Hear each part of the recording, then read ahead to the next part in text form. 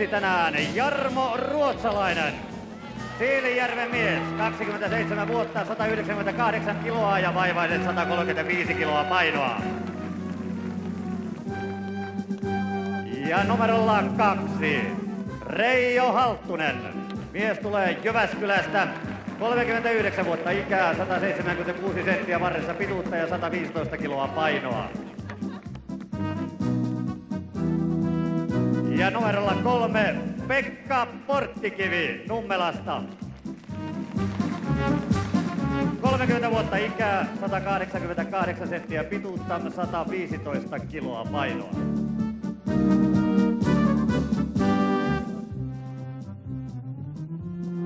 Ja numerolla neljä, Esko Pirkkiö.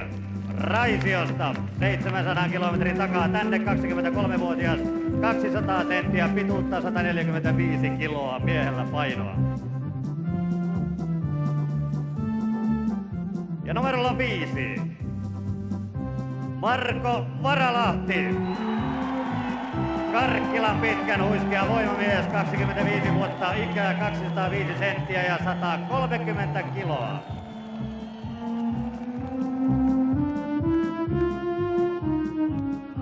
Ja tänään täällä Kuopiossa numerolla kuusi Jorma Ojanaho. Laajalainen voimanpesä, 23-vuotias, 191 senttiä, 145 kiloa.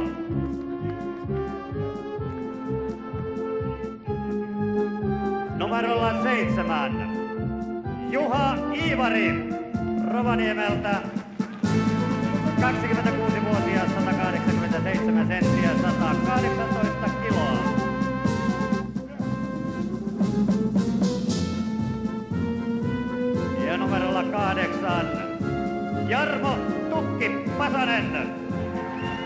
Vesannon voimamies, 31-vuotias, 167 senttiä pituutta ja tasan 100 kiloa.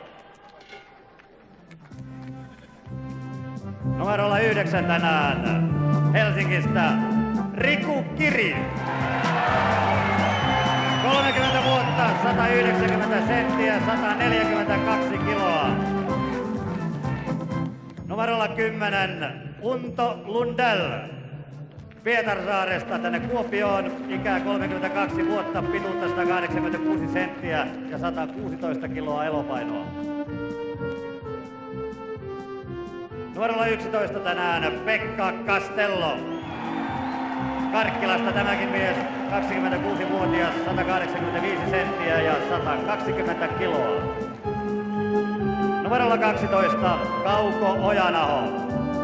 Laajalainen voimapussi, 25 vuotta, 183 senttiä, kilpailupaino 117 kiloa. Numerolla 13 Jarmo Koistinen.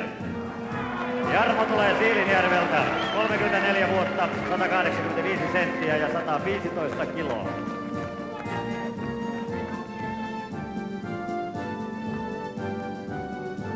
Ja numerolla 14 kilpailee tänään Tero Suominen Livonsaaresta. 35-vuotias, 183 senttinen ja 132 kiloinen voimamies. Ja numerolla 15 Juha Kärkkäinen Kuopiosta. 25 vuotta ikää, 178 senttiä pituutta ja 110 kiloa painoa. Ja numerolla 16 Juhani Nykänen Siilinjärveltä. 32-vuotias, 184 senttiä ja 122 kiloa kilpailupaino ja numerolla 17 tänään Jarmo Mäkäräinen Iisalmesta. 30-vuotias, 182 senttiä ja 112 kiloa. Ison kokoiset, mutta hyvän tapaiset ovat tänään myös lasten asialla. Tämän kilpailun tuotosta lahjoitetaan osa Alavan lastensairaalan pitkäaikaissairaiden lasten hyväksi. Suomen vahvin mies ryn puolesta 10 000 markan sekin tulevat lahjoittamaan meille kaikille hyvin tutut voimamiehet Ilkka Nummisto ja Markku Suonenvirta. Lahjoituksen vastaanottaa Alavan lastensairaalan pitkäaikaissairaiden puolesta professori Kari Laudiala ja Pirkka Pekka.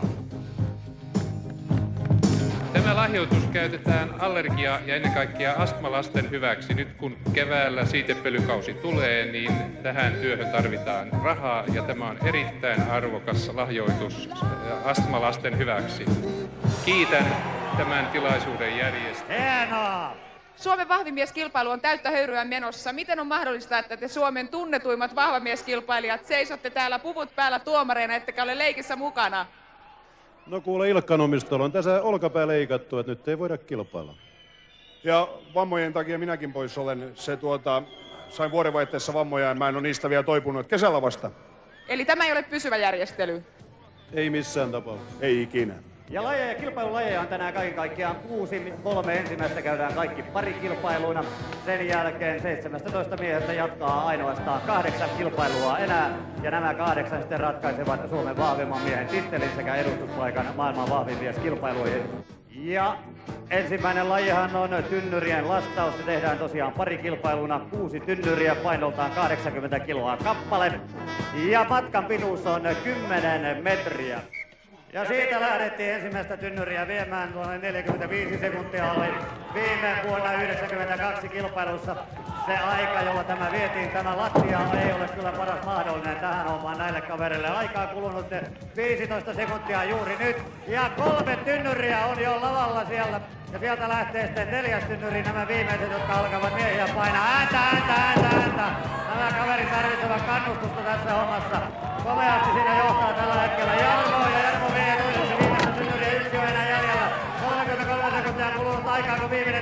lähtee. Ja sieltä lähtee viimeinen loistava aika.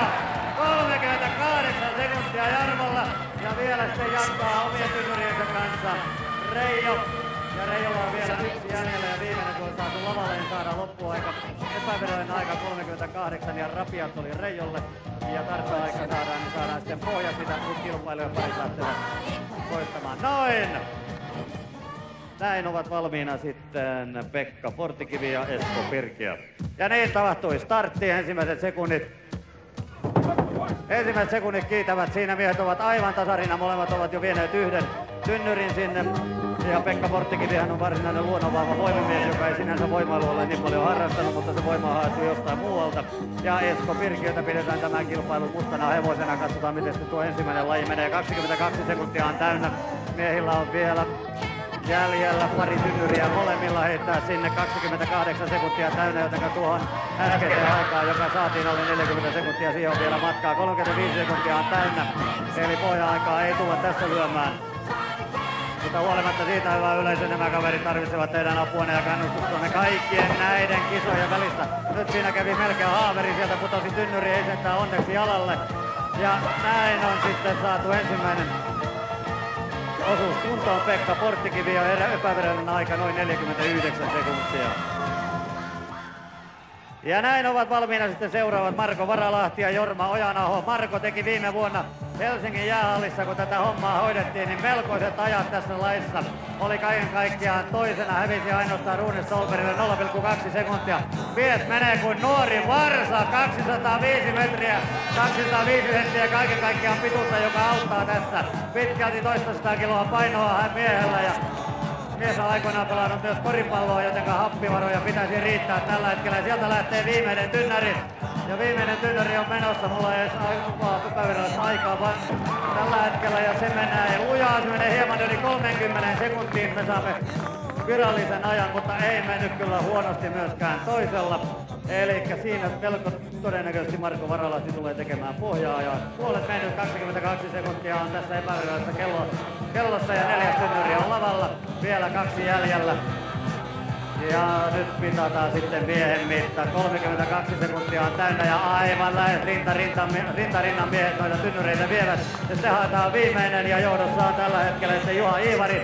Rovaniemen mies vie siinä parasta aikaa viimeistä tynnyriä. Se on siellä ja epävirallinen aika noin 45 sekuntia. Tukkipasasilla alkaa jo painaa. Vielä viimeinen punnerus ja se on nostaa, nostaa, nostaa yleisö auttakaa, nostaa, nostaa, nousee, nousee, nousee.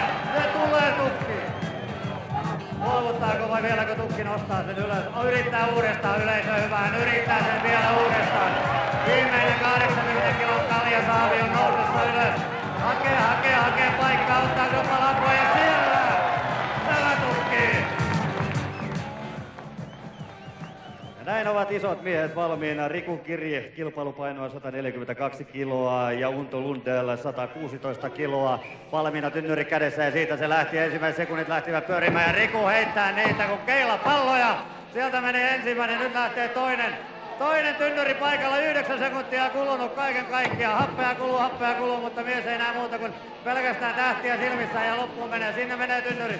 17 sekuntia ja neljäs tynnyri on lähdössä Rikulla. Unto tulee hyvää vauhtia perässä ja Rikulla lähtee toiseksi viimeinen. 25 sekuntia vasta aikaa täynnä. Sitten on se viimeinen tynnyri vielä jäljellä ja 30 sekuntia, nyt 6 sekuntia aikaa. Rikulla aikaa löydä tuo 34, 35. Ja siinä alittiko Riku ajan. 35 oli epävirallinen aika ja Untola on täynnä vasta 46 ja sieltä menee viimeinen. Noin. Vielä 49 sekuntia. Ja Rikin virallinen aika 35,9. Ja johto piukkaa on vielä puolessa välissä ollaan, kun nämä tynnyrit ovat heitetty tuonne lavalle ja niitähän ei saa tosiaankaan heittää ennen kuin vasta noita vahinkoja. Hyvää vauhtia miehet menevät, 25 sekuntia on täynnä nyt. Ja niin se näyttää, että rinnanmitan edellä on tällä hetkellä Kauko Ojanaho. Hän lähtee viemään toiseksi viimeistä tynnyriä ja nyt vasta tulee Pekka Kastello paikalle. Ja nyt alkaa miehillä jo maitohapat istumaan tuonne jalkoihin ja alkaa väsymys tulemaan. Viimeinen tynnyri menossa. Kaukolla ja aikaa kuluu 43 sekuntia ja se on siellä. Epävirallinen aika 45 ja nyt on myöskin Pekan viimeinen tynnyri. Ja Mik Nippanappa alle 50 sekunnin mentiin, kunhan saadaan vielä varmistus. Ja näin ensimmäiset tynnyrit molemmilla lavalla. Ja silloin kun tuo ote pääsee lipsumaan, niin siinä saattaa tapahtua vaikka mitä. Ja näin on kaksi tynnyriä lavalla. Aikaa kulunut tällä hetkellä tässä vaiheessa 15 sekuntia. Jarmo Koistinen ja Tero Suominen omassa suorituksessaan. Pojat lähtivät rauhallisesti liikkeelle, jotta varmaan jaksaa sitten myöskin loppuun saakka. Juostavaa matkaahan tässä tulee lähes 100 metriä kaiken kaikkiaan. Ja sitten kun kantaa noita 80 kilon päniköitä, niin ketäpä se ei ottaisi sitten tyhjäksi. Terohan on Livosaaresta ja Jarmo taas vastaavasti Siilijärveltä. Molemmat tosiaan tuhtia kavereita. 115 kiloa Jarmolla painoa ja Terolla 132. Ja sieltä meni viimeinen tynnyri, epävirallinen aika 48 sekuntia. Ja sitten lähtee vielä viimeinen tynnyri, joka pääsee lipeämään tästä. Ja nostetaan se tuonne ylös. Nousee, nousee, nousee ja lavalla on hyvä yleisö. Nyt se meni siellä. Ja minuutin pintaan.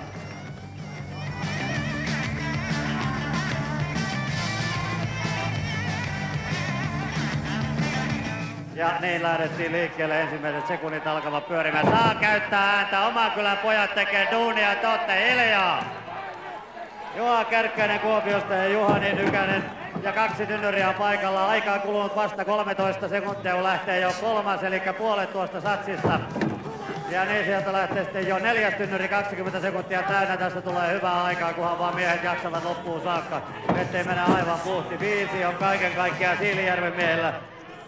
Tynnyreitä kannettuna 122 kiloinen voimanousto SM-kilpailun kakkosia vuodelta vuodelta 86 kaiken kaikkiaan sarjassa 125 kiloa ja nyt menee viimeinen tynnyri ja se on siellä 41 sekuntia epävirallinen aika ja niin tulee sitten myöskin Juha Kärkkäisen viimeinen tynnyri tippui alas.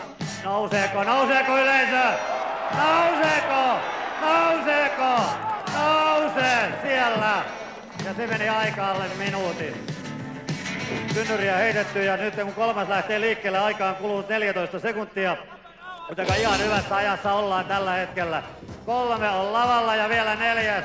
Iisalmen mies huutaa teiltä apua, hyvä yleisö. 25 sekuntia on kaiken kaikkiaan mennyt. Neljä tynnyriä lavalla, vielä kaksi jäljellä.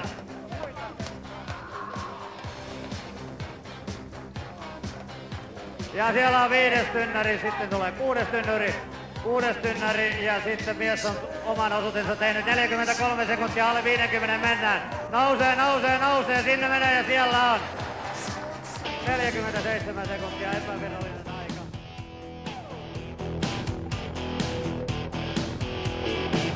Riku Timus oli ensimmäisen osakisan voittaja, tiukkaa kivitystä isolta mieheltä. Tökkikö yhtään missään vaiheessa? No ei, ja ihan kivasti meni tuo laji polvi vähän hellä, mutta kyllä se varmaan kestää loppuun asti. Olet suuri ennakkosuosikki täällä, onko siitä paineita? No ei sen enempää kuin muilla, että kaikki täältä on tullut hakemaan ykkössiä. Krusifiksi. Siinä on laji, jossa vaaditaan sitten mieheltä, jos mitäkin, ei pelkästään voimaa, vaan myöskin periksi antamattomuutta. 12 ja puolen kilon edestä kummassakin kädessä tulee roikkumaan. Ja näin sitten alkoi tuo riippuminen ja riiputtaminen. Tämä käy todella päälle, tämä käy nimenomaan tuonne ranteisiin, olkapäisiin. Olkavarret tuntuvat hetken kuluttua repeytyvän irti. 38 sekuntia, 40 sekuntia on täynnä, tästä tulee kova aika. Lähelle minuuttia, jos päästään, niin siinä on todella luja pohja-aika. Siellä pitää, pitää, pitää, mies ei näe mitään kuuleva. 48,9 on sitten pohja-aika. Ja se on nimenomaan Jarmo Ruotsalaisen pohja-aika ja se on hyvä aika se. Näin antoi tuomari lähtökäskyn tai lähtökäskyn, roikutuskäskyn, jos näin voidaan sanoa. Viisi sekuntia on mennyt. Ei vielä mitään hätää. 12,5 kiloa molemmissa käsissä. Nyt alkaa tulla tuskaa. Hyvä yleisö. 15 sekuntia. Nyt lähestytään 20 sekuntia. 20 sekuntia. Nyt aletaan mittaamaan miehen mittaa. Nyt alkaa jo mies tärisemään ja vapisemaan. Tarvitaan, tarvitaan tahtoa, tahtoa. 27 sekuntia. 27 sekuntia tuli ajaksi tässä, mutta siellä mies vielä jatkaa. Yli 33 sekuntia on täynnä nyt. Ja pohja-aika on siinä lähemmäs 50 sekuntia, joka täytyy saada. 40 sekuntia on täynnä aivan hetken kuluttua nyt. Enää ei näe, ei kuule, ei tiedä maailman menosta yhtään mitään. Ainoa asia se mylvinä, se meteli, joka te yleensä saatte aikaiseksi. Kun 50 sekuntia on täynnä nyt. Mahtava! Lähestytään minuuttia. Näin, 54 sekuntia on epäveroinen aika ja jos se pitää paikkansa, niin mies meni tässä lajissa tällä hetkellä johtoon. Ja näin antoi tuomari merkin tämän lajin alkamiseen. Avustajat siirtyvät sivuun, irrottavat kätensä näistä painoista. Ja tällä hetkellä on sitten pidetty 10 sekuntia täyteen nyt. Ja Unto pitää, Untolle tämä on tuttu laji aikaisemmista kilpailusta, niin on myöskin Riki, Riku tätä hommaa hoitanut monta kertaa. 20 sekuntia on täynnä, nyt aletaan mittaamaan miesten kanttia. Unto Lundell ja Riku Kiri, Riku Kiri 142 kiloa painoa, se ei paljoakaan auta tässä kilpailussa. 30 sekuntia täynnä, puoli minuuttia ja Untolta tippuu jo painot alas. Ja Riku pitää, pitää, pitää, pitää, pitää. 38 sekuntia on täynnä. Ääntä, ääntä, ääntä. Ainoa mitä hän tietää on kuulee teidän äänenne. 45 sekuntia täynnä. Ja pikkasen vajaa epäviralla 45 sekuntia. Loistava aika.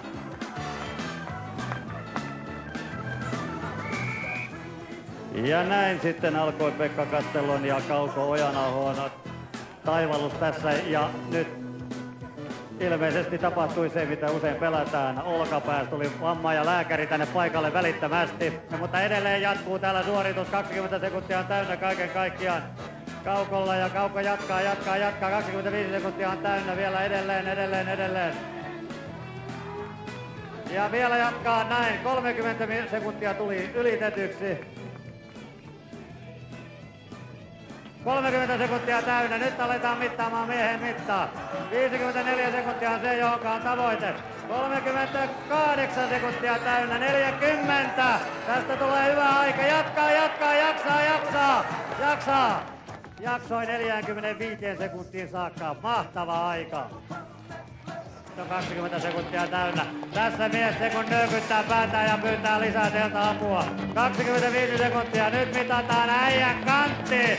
30 sekuntia täynnä, 54 on se sekuntimäärä, mihin pyritään. Kaiken kaikkiaan. Ja näin putosi 36 sekunnissa ensimmäisen painot jaksaa. 39 sekuntiin Kuopio mielellä.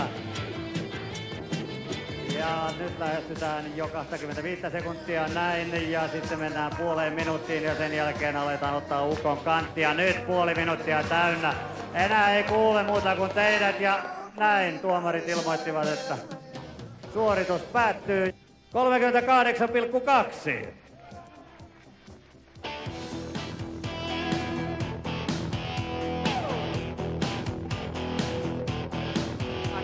Onko tämä ensimmäinen vahvamieskisasi? No joo. lähdin tänne ihan harjoittelemaan, että näkee tota, kummoisia nämä lajit on, että tietää myöhemmin harjoitella lisää. No hyvin tuo ainakin meni. Oliko se jotain isompia vaikeuksia missään kohtaa kuin ihan lopussa? No ei, se, mä sen verran töppäsin siinä alussa, että mä painoin liian kovin käsi ylöspäin sitä levyvastin, että tota, jos olisi ollut ilman tuota telineet, olisi pitänyt ehkä hiukan kauemmin vielä. Pystyykö tuommoista krusifiksiä mitenkään treenaamaan? No kyllä sitä varmaan pystyy, kun pitää vaan niitä painoja.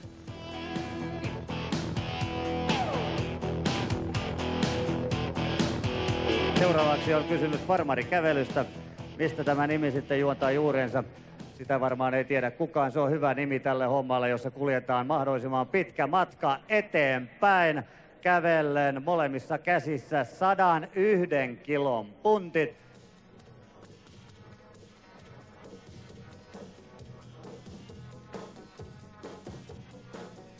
Ja näin siinä sitten lähti Reijo Halttunen liikkeelle. Tässä ei ole hitaasti kirjoittamisella minkäännäköistä mer- merkitystä. Kaikki auki, pellit auki ja eteenpäin mennään niin nopeasti kuin mahdollista. 25 metrin tolppa lähestyy siellä. Ja sitten tuo käännös, ja se käännös ei ole aivan yksinkertainen 101 kilon punteilla molemmissa käsissä. Näin matka jatkuu 30 metriä jo kaiken kaikkiaan Jarmo Ruotsalaisella. Takanaan 35 ja 40 metriä lähestyy. Nyt alkaa jo pikkuhiljaa puuttumaan. Nimittäin tämä alusta on erittäin pehmeä kulkea tuossa 3,5 kiloa lähes kaiken kaikkiaan massaa. 50 metriä olisi tullut täyteen Reijolle, ei aivan, mutta hieman yli tuli sitten Jarmolle, joten siinä sitten pohja-ajat runsaat 50 metriä. Otetaan pohja pois heti, 25 metriä on täynnä molemmilla miehillä. Nyt käännös ja sen jälkeen muut alta pois. Täältä tullaan parisataa kiloa käsissä ja vauhtia riittää Markolle. Jorma Ojanaho myöskin lähestyy 50 metrin pyykkiä. Nyt on 50 metriä täynnä. Nyt on johdossa ja kaikki tästä eteenpäin on vain ja ainoastaan pelkkää johtoa Markolle. Ja toisen, toisena on nyt sitten jo tällä hetkellä Jorma Ojanaho. Marko jatkaa, jatkaa, jatkaa. 75 metriä täynnä, tuleeko tuo 100 metriä täyteen? Menee, menee, menee vielä, jaksaa, kädet väsyvät. Ote ei tahdo pitää. Jaksaa, jaksaa, jaksaa, jaksaa. Ja vielä, vielä, vieläkö vielä kantti riittää, riittää. Näin, mahtavaa! Rikulla on 50 metriä täynnä. Nyt on 55 ja kohta hän saavuttaa kakkosia näin. Riku on tällä hetkellä kilpailussa kakkosena. Nyt on vain ainoastaan mielessä tuo 100 metrin matka. 100 metriä 30 senttiä on tällä hetkellä Marko Varalahden johto. Riku alkaa yytymään, maitohapot alkavat iskemään jalkoihin. Ei ala enää, ei ranne pidä, pitääkö näin. Upea suoritus, yli 75 metriä Rikulla kaiken kaikkiaan käveltyä matkaa ja tämän lajin kakkonen. 50 metriä tulee täyteen ja siitä sitten 7 metriä päälle niin olen kolmantena. Näin, jaksaa, jaksaa, jaksaa, jaksaa, jaksaa. Nyt on kolmas sija tullut jo. Ja jatkaa siitä edelleen, edelleen. Rikun, Rikun matka on 77 metriä. Jaksaako sinne? Nyt olla, ei aivan. Mutta kolmanneksi tällä hetkellä. Edelleen jatkaa mies, 50 metriä on täynnä. Juhani Nykänen Siljärven mies on päättänyt hoitaa tämän homman kotiin. Siinä menee tavaraa vähän enemmänkin. Jaksaa, jaksaa, jaksaa. Sitten on jo 60 metriä täynnä.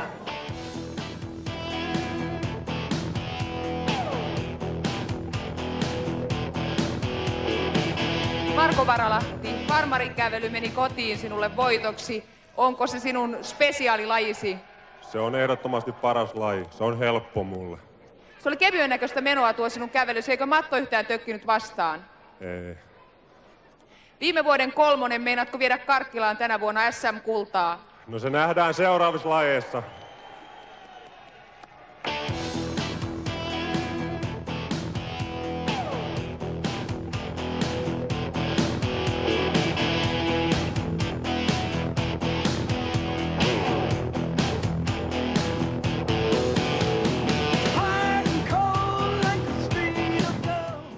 Tukkipasanen voimanostaja, kova tsemppaaja, mutta et kuitenkaan pärjännyt tässä kilpailussa. Missä syy? Varmaan liian vähän voimaa. Mutta kuitenkin olet voimanostaja ihan menestyvä. No joo, kyllä, mutta ei tämä nämä lajit oikein mulle sopii. Että. Onko treenannut tällaisia lajeja mitenkä? No en kovin paljon, että täytyy myöntää. Että kyllä näitä kisoja käydään, nämä on huumorilla otettava nämä kisat. Eli vahva mieskilpailu on oma juttunsa, vaikka olisi voimaa ja tsemppiä, se ei riitä. Kyllä joo, ja sitten mulla on pikkusen, kun minä olen sen verran lyhyt, niin tuota, pikkusen ongelmia sen vittujen kanssa.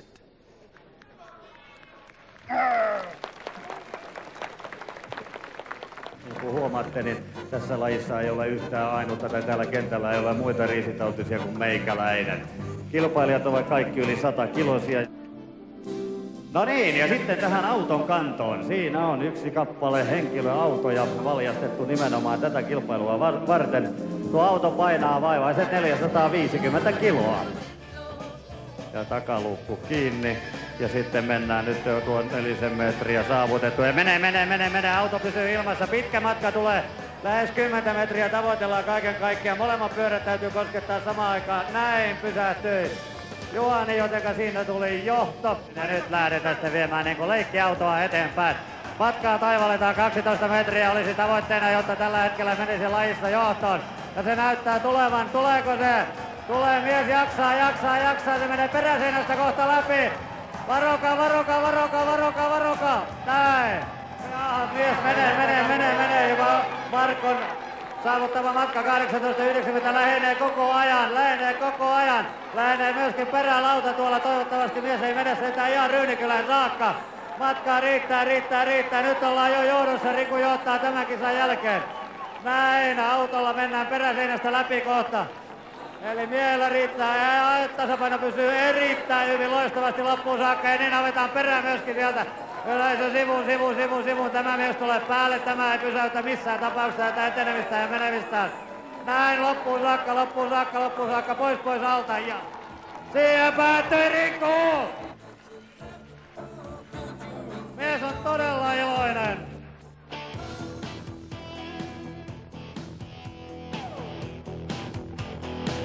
Riku mieletön matka, 500 kiloa pikkuautoa kynsissä ei näyttänyt juuri miltään. Oletko edes hengästynyt? No en ainakaan myönnä. Olit tosi tyytyväinen. Oliko sinulla itselläsi epäilyksiä, että tuo homma ei suju? Ei mulla ole mitään epäilyksiä, mun on pakko mennä eteenpäin täysillä vaan. Onko Marko liian lähellä perässä? Kaikki ne on perässä.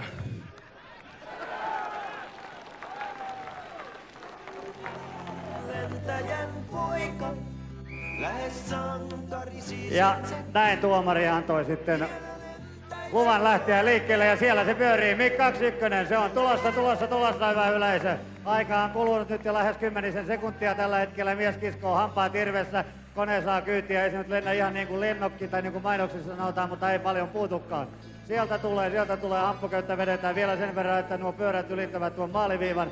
Maaliviiva ei ole täällä miehen sylissä, vaan nimenomaan juuri nyt lähestytään sitä. Metri on sinne enää matkaa aikaa kulunut noin 30 sekuntia ja maalissa ollaan näin.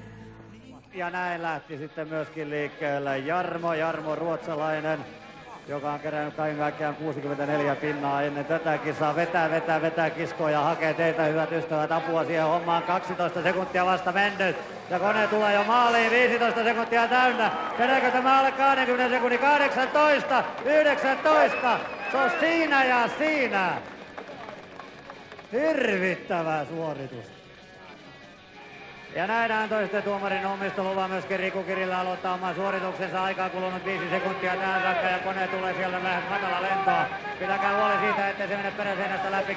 Kellossa on kulunut aikaa 12 sekuntia ja maaliviiva lähestyy. 20 sekuntia olisi alitettava, että johtoon menisi 16 sekuntia, 17, 18, 19 ja siinä ja siinä.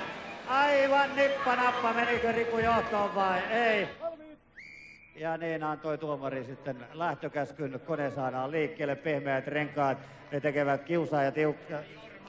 Ja kiukuttavat tietysti miestä, joka yrittää kysyä hampain tätä konetta saada eteenpäin. 11 sekuntia on täynnä, maali lähestyy, 15 sekuntia on täynnä nyt. Enää on matkaa puolitoista metriä maaliin. 18 sekuntia tulee täyteen, 19.20. Tästä tulee joka tapauksessa hyvä aika.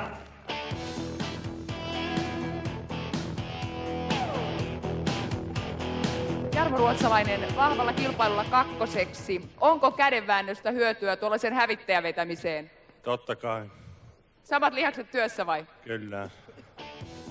Tulit tänne sijoittumaan kuinka? No, katsotaan kisan jälkeen, ei ollut mitään ennen.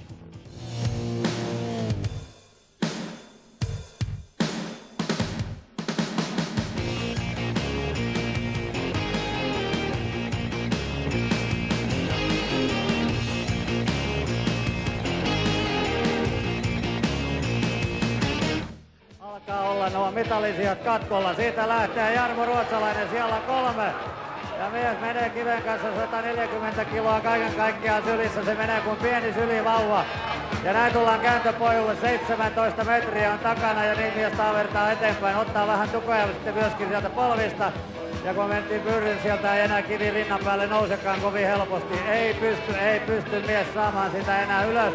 Jatkaa niin pitkälle kuin mahdollista. Menee ilmeisesti johtoon tämän osalta.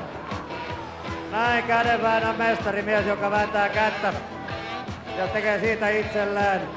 Tuloksia, palkintoja on saapumassa sitten parasta aikaa 34 metrin kohdalle. Sieltä on liukumassa, liukumassa, ei putoa, ei putoa, jaksaa vielä, jaksaa vielä, jaksaa vielä. Ja sitten Jorma Ojanaho tulee pikkuille, näin. Sieltä tuli 140 kilon mötikkä alas ja mies on aivan katki. Vielä Jorma Ojanaho jatkaa omaa punnerustaan. Jatkaa, jatkaa. Hyvä yleisö. Tämä mies tekee kaikkensa, jotta hän pääsisi eteenpäin. Autetaan häntä. Tulee, tulee, tulee, tulee vielä. Naama virneessä jo täysin silmät lyövät mustia tällä hetkellä. Muuta ei näy kuin tähtiä. Jatkaa, jatkaa, jaksaa. Sisua löytyy. Sisua löytyy. Sitä löytyy suomalaista sisua tältä mieheltä. Näin. Ja näin sitten ratkaistaan tässä lajissa mestaruus, ratkaistaan se kumpi, kuka sitten lähtee edustamaan maatamme maailman vahvin mies kisoihin. Marko Varalahti ja Riku Kiri ovat molemmat päättäneet voittaa tämän kilpailun. Molemmat haluavat itselleen suo 1993 Suomen vahvimman miehen tittelin. Ja niin nousevat kivet, ne nousevat kun keila pallot tuon syliin. Haetaan hyvää otetta ja sen jälkeen lähdetään eteenpäin. Sitä viedään kuin sylivauvaa. Riku kävelee ja Marko rinta rinnan molemmat astelevat eteenpäin. Kivi pysyy, kivi pysyy, se ei luiskahda hetkeksikään alaspäin. Ja näin Marko alkaa, Marko alkaa hieman ote putoamaan, mutta Riku kävelee edelleen. Nyt haetaan hieman apua siihen. Ja näin nousee vielä ja vielä jatkaa. Ei ilmekään värädä miehen kasvoilla. Katsoo ainoastaan Markoa. Ja yleisö, yleisö, sivumalle, sivumalle, sivumalle, sivumalle, sivumalle, sivumalle, sivumalle. Näin, pysytään sivulla, pysytään sivulla. Ja Marko on ylittänyt jo tuon ruotsalaisen tekemän ajan. Riku seuraa perässä. Riku ottaa parempaa otetta siihen, Marko ottaa myös. Ja Marko jatkaa edelleen. Marko on päättänyt pestä Rikun tästä. Miten Riku käy? Riku hakee otetta, hakee, hakee otetta. Kauemmas, kauemmas, kauemmas sieltä. Ja Marko jatkaa omaa taivallustaan. Nyt Marko on jo tehnyt Rikun yli 10 metrin kauan kaiken kaikkiaan. Ja Riku jatkaa edelleen. Sisulla, sisulla. Marko ei näe enää, ei kuuta, ei maata, ei taivasta, ei pätkääkään. Ja näin putosi Rikulta kivi. Ja Marko jatkaa edelleen. Marko on voittanut tämän kiven kannon. Ja näin.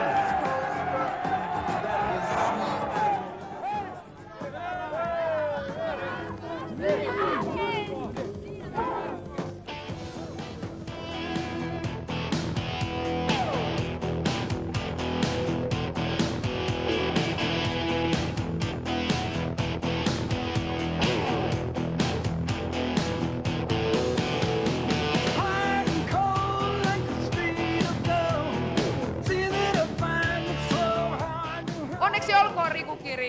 Suomen virallisesti vahvin mies. Nyt on kysyttävä, miltä tuntuu? No ihan siimelle syvälle, että päästiin siihen tavoitteeseen, mitä tultiin hakemaan. Ihan tyytyväinen. Nyt on sitten jossittelu joka paikassa loppu, että onko Riku vahvin ja sinä pääset lähtemään maailman vahvin mies kilpailuun. Miten aiot valmistautua tuohon isoon kisaan? No täysillä ja sellaisella sijoitusta haetaan, että kaikki suomalaiset on tyytyväisiä. Eli Rikusta tulee myös maailman vahvin mies. Se on ainoa tavoite mulla. Onneksi olkoon.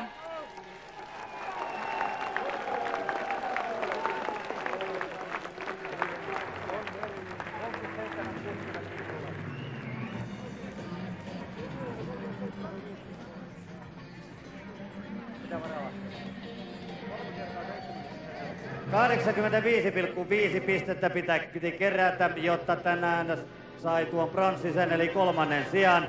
Ja sen otti itselleen Jarmo Ruotsalainen.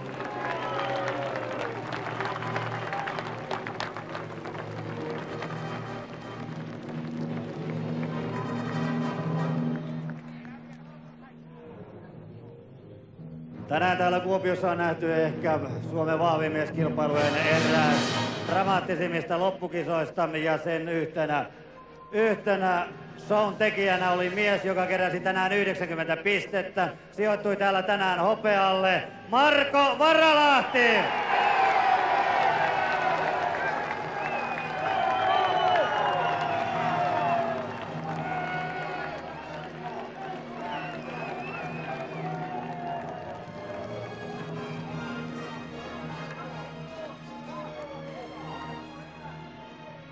Tänään on myös selvinnyt se, kuka edustaa maatamme maailman vahvin mies kilpailuissa.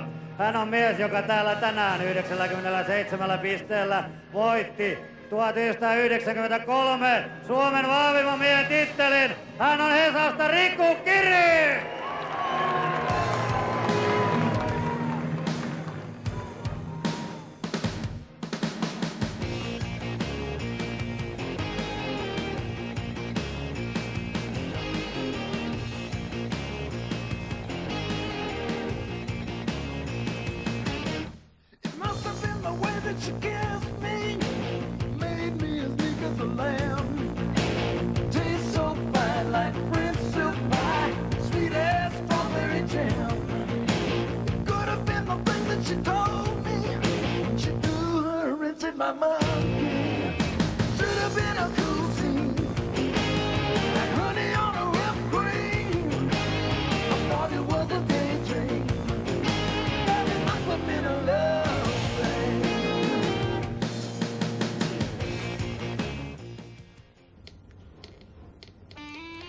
Kohta nähdään uimahyppy ja